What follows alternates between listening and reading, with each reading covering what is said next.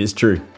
I'm finally living in Japan, and uh, it feels really good to say that. So let's have a little bit of story time on how I got here and uh, also how I've set up this apartment because I've been documenting the process.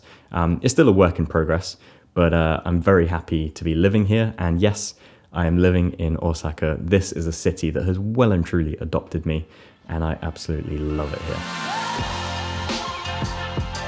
So, finding an apartment in Japan. Uh, I must admit, I was pretty scared about this idea because um, trying to find somewhere where you don't really speak the language. But I've been fortunate that I've actually made quite a few connections whilst I've been here in Osaka.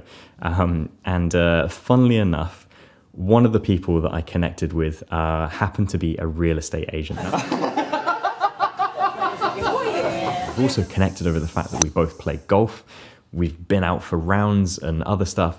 Kiyoshi has become a good friend of mine. He made a promise to me at the very start. He was like, I'm going to help you find an apartment. And so that personal connection has been incredibly helpful at finding this apartment. Now, the process itself was pretty difficult. It was also incredibly rapid. This all happened in the space of about three weeks or so. In the middle of that, I had a trip to Iceland. So it all happened fairly fast. But I think if you're on it and if you're really prepared and you put in the research and the dedication to your time, it can happen quickly and swiftly. Now, I should also mention that as part of this journey, and it's almost like a rite of passage for every foreigner who comes to live in Japan, I did apply for one apartment that was amazing. It was such a great apartment, and I got declined for it, quite literally, um, and quoting the words, because I am gaijin. So, gaijin just means foreigner. And um, yes, it's a thing that happens a lot in Japan. I feel like there are so many people who talk about it on YouTube. Um, there is just discrimination and profiling that happens purely based on who you are, where you're from. You know, it's not good, obviously. The good news is I was able to continue searching for an apartment and I found another place that I think is actually far better and in a better location as well. And applying for that was super swift and breezy and uh, yeah, ended up here. When it came to going through the contracts and the paperwork and things, there was a moment where there was this lawyer involved, and he was quite literally, and I, I mean literally, reading out a contract, eight or nine pages, back and front, word for word. In full Japanese. And this is full legal Japanese. My Japanese understanding is fairly limited anyway. Legal side, absolutely no chance. So I'm sat there just like, I, I don't I don't understand. I have no idea what you're saying and I'm trying to translate it back like it doesn't matter. I'll sign it. I don't I don't understand.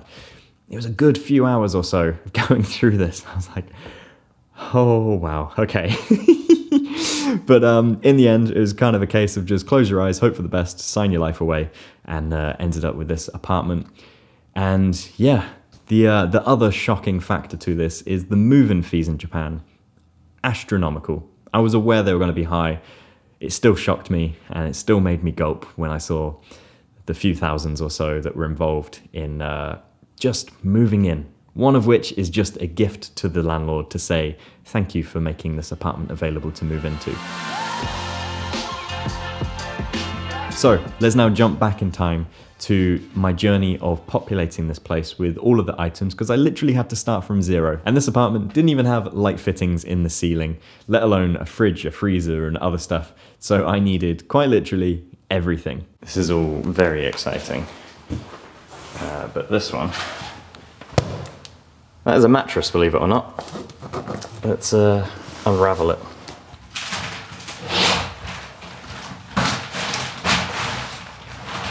And so over the last few months or so, I've been popping into different stores and just seeing all sorts of things. Um, most frequently, of course, I've been going to Muji and you know, we have Muji in the UK and the rest of the world as well. But in Japan, the selection, the furniture, so much is just a better option at, again, a fraction of the cost because it's from Japan. It feels like they should sponsor the channel at this rate because I've bought so much stuff from them. So Muji, if you're watching, uh, I would love to collaborate. It just hits the sweet spot on good quality products, good design that's kind of fairly plain but still leaning Japanese and just very functional. Um, and at a good price. So every day has kind of felt a little bit like Christmas because, yeah, I've had to start from zero.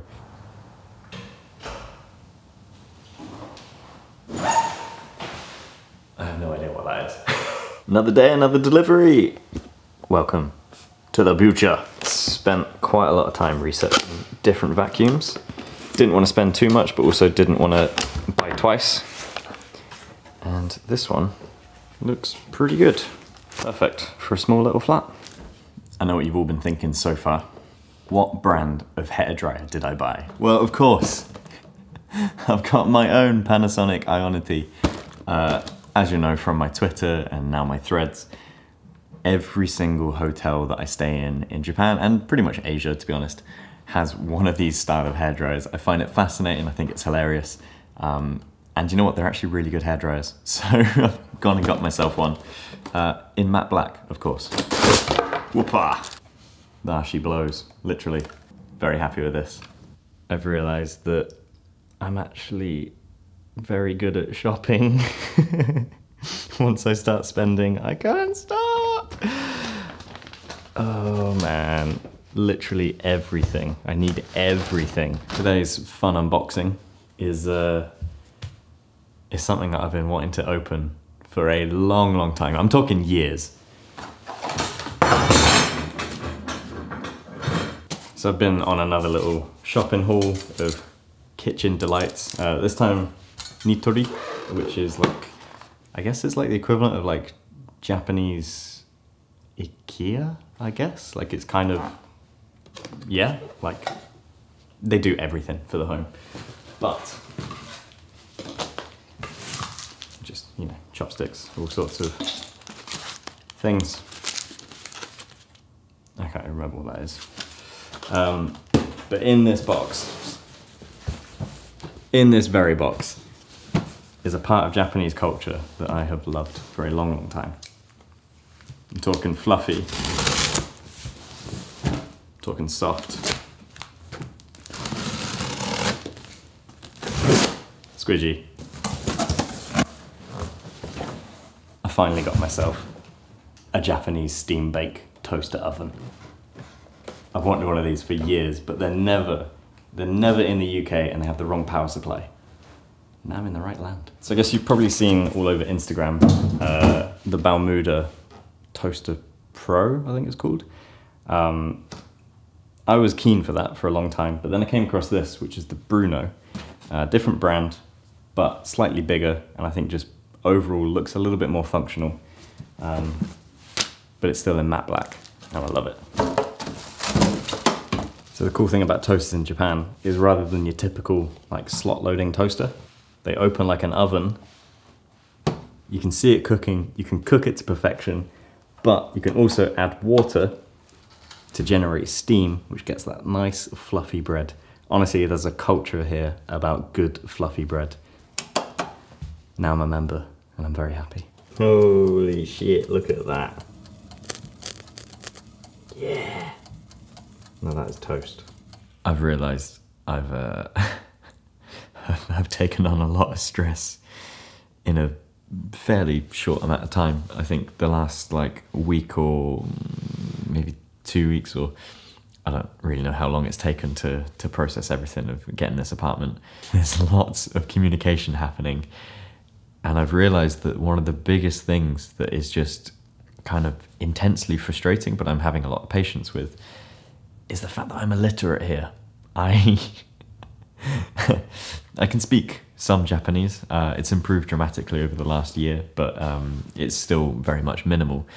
But reading, absolutely, I I just I don't really know very much. I know maybe like half of one of the character sets. And so the thing that's just really like struck me recently is I can't look at a document or an email or a message or a notification or something and just at a glance know what it is or who it's from.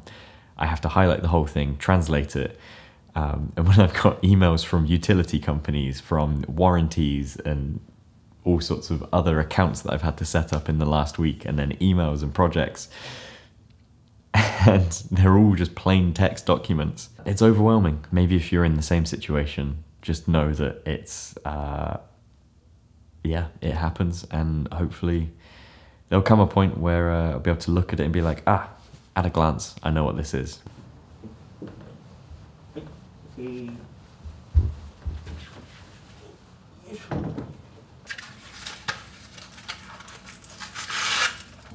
I'm a big fan of this handle. This is good. Whoa.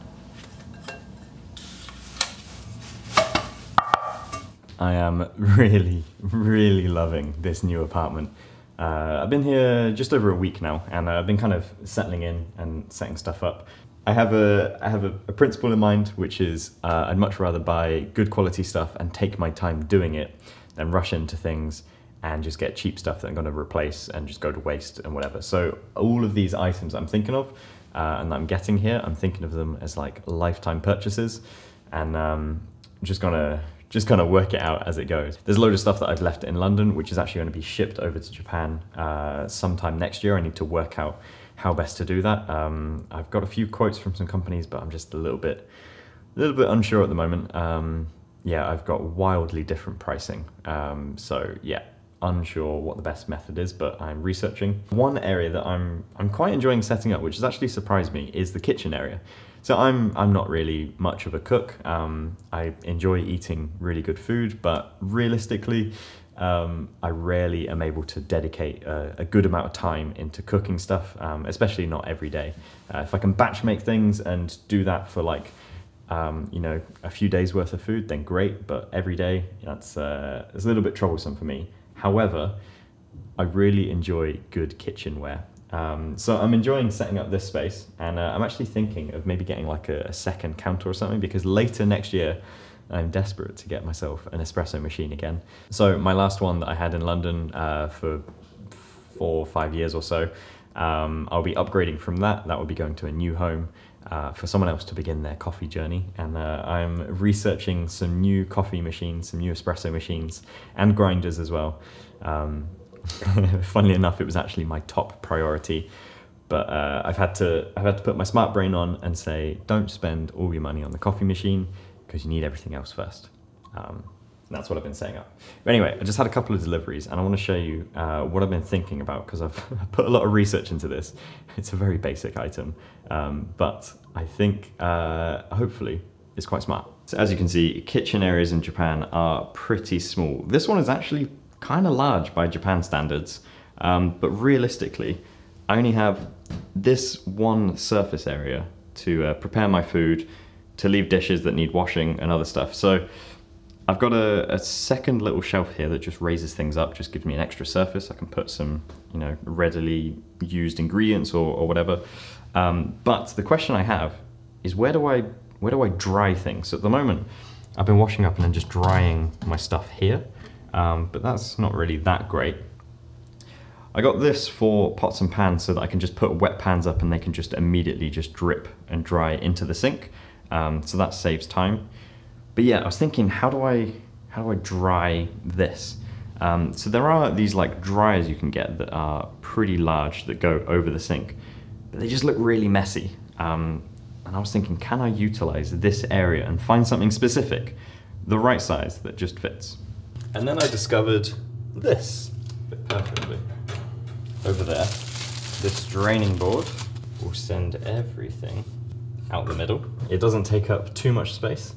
Uh, everything's going to drip off into the middle, into the sink.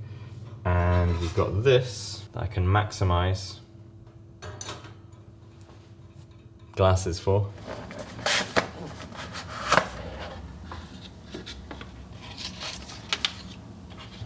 So I bought myself a new knife and I love it so much. Um, so I wanted to put some time into sort of thinking, you know, different options. I didn't want to spend too much, but also didn't want to go like too cheap.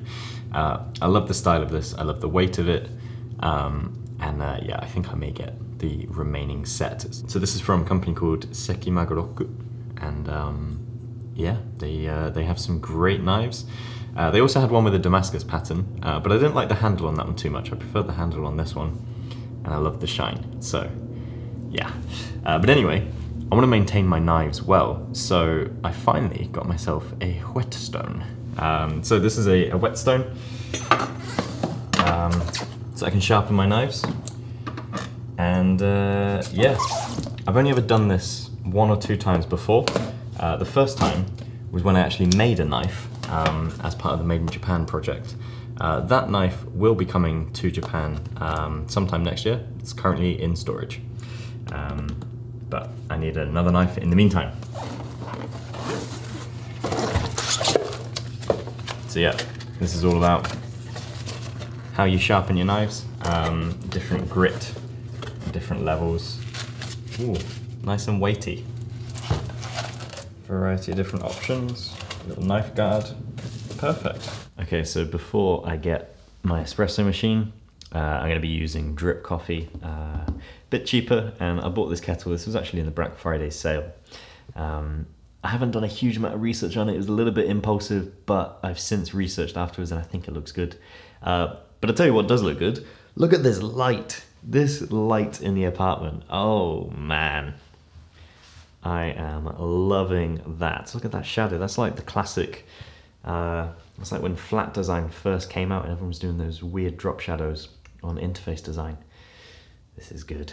I was gonna make a cup of tea and then, uh, then I realized I don't have any mugs yet, so I can just test that the kettle works. Um, I'll make a tea later, but it looks good.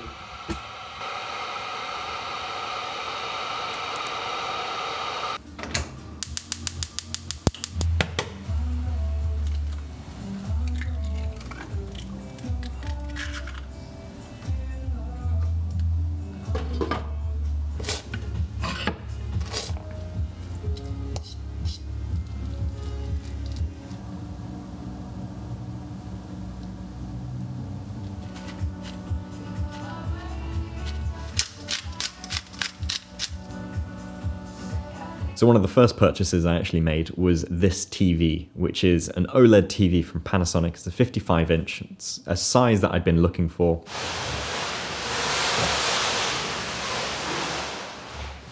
Yes! So this, I think, is gonna go there. I was very close to actually getting an LG OLED. I went to Yodobashi and I, you know, was going back and forth between different TVs over a number of weeks eventually ready to pull the trigger on this LG one. However, I saw this Panasonic one next to the LG and it was a direct comparison that I could see and I was blown away. Now I've always enjoyed Panasonic cameras for their technical picture quality. I think they're incredibly accurate. I think they are just a very true representation without adding too much, I guess, drama or like flavor to the picture. I think they are a true representation of what the filmmaker wanted when I think of that with the cameras and I apply that same logic to the TVs, it is absolutely 100% true. Looking at the picture on the Panasonic OLED versus the LG and even the Sony's, I was like, wow, that Panasonic looks very good. Very, very good. And I just couldn't stop comparing everything by this point to the Panasonic. And so I ended up going for this one because it was quite honestly the best image that I was looking at. So this is uh, the Panasonic 55 MZ1800 uh, something like that. Um, there's so many letters involved in these types of products.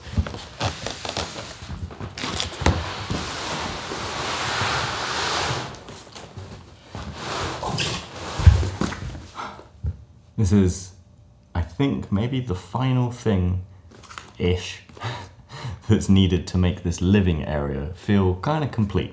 Uh, obviously there's like lots of little things I could get like side tables and stuff, but if having a TV on the floor doesn't say I've just moved in, I don't know what does. But uh, let's finally get that TV lifted off the ground.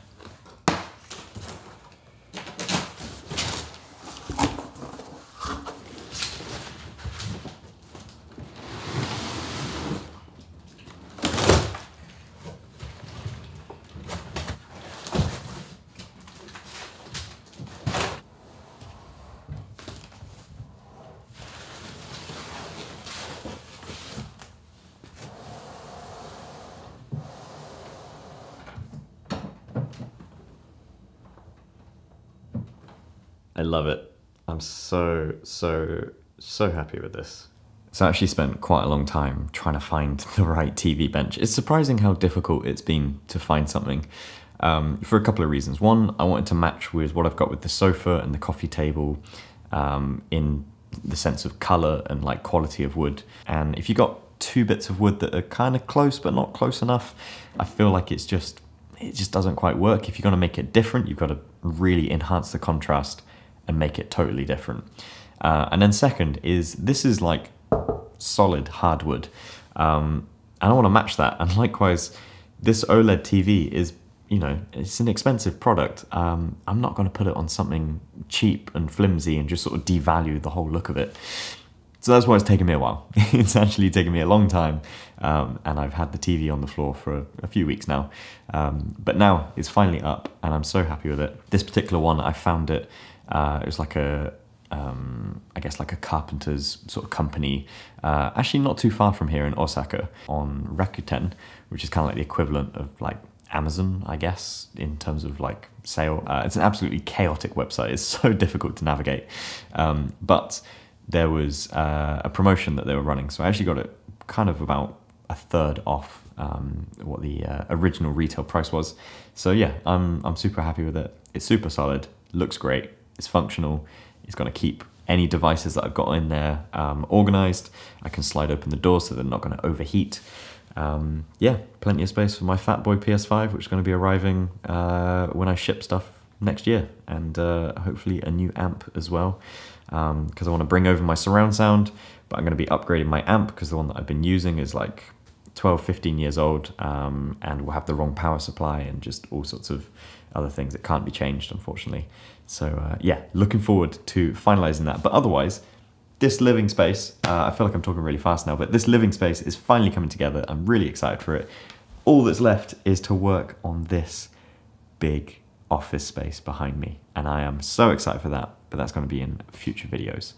Um, all sorts of plans. But uh, yeah, there's a few other things going to set up, but otherwise, feeling good. So an interesting thing here, um, actually two things. I just mentioned about contrast with the wood. Uh, I think I want to change these covers just to increase uh, some contrast between the covers.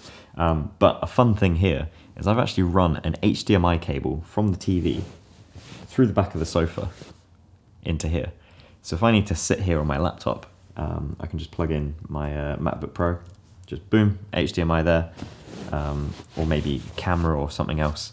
And um, yeah, it's going to show up on the TV right in front of me. Uh, super tidy, you can barely see it, and um, just tucks in like that under the rug. And adding to the TV, one of my favorite Apple products is the Apple TV. So I've got the Apple TV 4K. Um, they happened to update the remote recently, so now that charges USB-C, which is a bit of a bonus. It's just such a great experience to browse through entertainment. I know TVs are smart these days with apps and all sorts, when you compare it to the experience of using Apple TV and the configuration that you can do with it, honestly, I don't think anything beats it. It's a bit of a difficult one to explain to other people of why it's such a good product, or even just the naming of it is difficult to explain because there's Apple TV, there's Apple TV app, and then there's Apple TV Plus, which is the subscription service, um, and it's just it's a bit of a mess. Um, but the actual device, the Apple TV 4K, uh, is a great little box of joy, and uh, I love it so much. You know, it's been over a year since I've had access to my PS5, and I really miss gaming. now that I'm set up with like a living space, a good TV, and other things, um, I just want to play some games every now and then, and I'm not going to be able to get my PS5 uh, until you know a few months or so into this year when I go back to London, ship some things, and it's going to take time for that to arrive. And it even crossed my mind whether to buy a new one, and then when I go back to the UK, sell my old one because they've just released the slim PS5. Um, yeah, it crossed my mind for a hot minute, but I decided no, that's just silly. Let's just be patient and let's let's wait. But in the meantime, I remembered this. Uh, this is the backbone, uh, I guess, handheld rig system for your smartphone. Came out a few years ago, but I was always holding off buying it because I knew that there were rumors of an iPhone having USB-C at some point, and I didn't want to get one that had lightning and then it just be out of date within a year or so if I upgraded my iPhone. Fast forward three years and USB-C finally came to the iPhone and uh, I got the iPhone 15 Pro Max I remembered this, and this will just fit around my iPhone, and I can play good iPhone games because, from what I gathered, they've gotten pretty good in uh, the last five years or so. Um, but also, I can emulate uh, older games And when I eventually do get my PS5, I'll be able to do the remote play setup uh, when I'm traveling and all sorts. And uh, I got a little case for it as well because, you know, keep things protected. So this is it. Uh, it's just a little controller device. And what you do is you take your phone, put in USB-C, and now with this active, I think I can just press this button and boom, yeah, taken straight into Backbone app. Uh, and I can play all sorts of games. If you've got a Netflix subscription, you can get the new GTA remasters, I believe, uh, or at least that's just come up. Feels really good. Feels like an actual games console. I would love PlayStation to make a PSP or a PS Vita again, like a, a, new version of it. One that actually supports local play, not just the remote play. I know there's that new device, I can't remember what it's called. Just just want some like games lately. And I think this is gonna scratch that itch. It feels solid, looks really good. And of course the screen on the iPhone is a fairly comfortable size, great quality. Uh, let's just hope the battery life isn't uh, drained too much because this controller uses the battery from the phone. Got USB-C pass through if I want, but um, yeah, I got some games finally.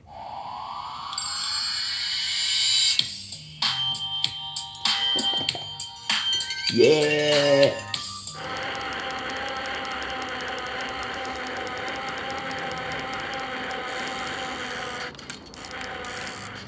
I should note, by the way, that I will be linking to some of the notable products in the description below. Uh, those links will be affiliated to me, but there'll be no extra cost to you. So they just help support the channel and keep things active, and uh, I appreciate your support. Another way of making this feel more homely was adding some plants and nature and you know, just a bit of greenery. Um, so I went to a, uh, a plant store and uh, I will definitely be going back as well because I've, uh, I, I want to fill this place with plants. I love having house plants. Um, so I got a couple to start with, really enjoying the aesthetic that they're adding to the space. And this apartment gets so much natural light. Um, yeah, I'm so happy with it. It's, yeah, I, I'm just, I'm in love with this place. I'm, I'm really loving it. I'm so happy. This is kind of a different video to what I, I normally produce on the channel, but you know what? I'm actually really keen to do more sort of lifestyle things. Um, and I guess like the lifestyle of a creative as a photographer, a filmmaker, and just sort of share more of the behind the scenes and the living in Japan because it's something that I'm intensely fascinated by and I've got a lot to talk about and share. Um, and it's a wildly different life to what a lot of other people have had. It's different to what I grew up with and other things. And so there's just interesting aspects there. Likewise with the apartment and the, the home sort of style and things, you know, it's, it's kind of been a blessing and a curse for me that my background is in design and creativity because, you know, in, in many ways, I keep saying this, like I'm a bit of a design wanker. You know, I look at the functionality of something on, you know, so many ways that something will be used. I obviously look at the aesthetic of it. There are so many boxes that need to be ticked before I actually make the purchase on something. And so that does make purchases very difficult, but it does also mean that I think I've ended up with, you know, a curation of items that I I think work really well for me and uh, hopefully they would be good recommendations for you as well. So I want to share those, um, and uh, yeah, I think there's a lot that transcends between like the living space as well as the working space, and I will absolutely be doing an office build up and run through and desk setup and other things um, I'm so glad to finally be getting a desk back. And uh, yeah, I will be sharing that on this channel. You guys love them on my YouTube. I've done multiple desk setups in the past, but I'm excited to have a new version for 2024 um, in Japan. So yeah, there's a lot coming and uh, I hope you're excited for it. Let me know what you think in the comments below. So yeah, that wraps it for this one. All right, matane, bye bye. Mm. Spatula. Sorry, I don't speak Italian.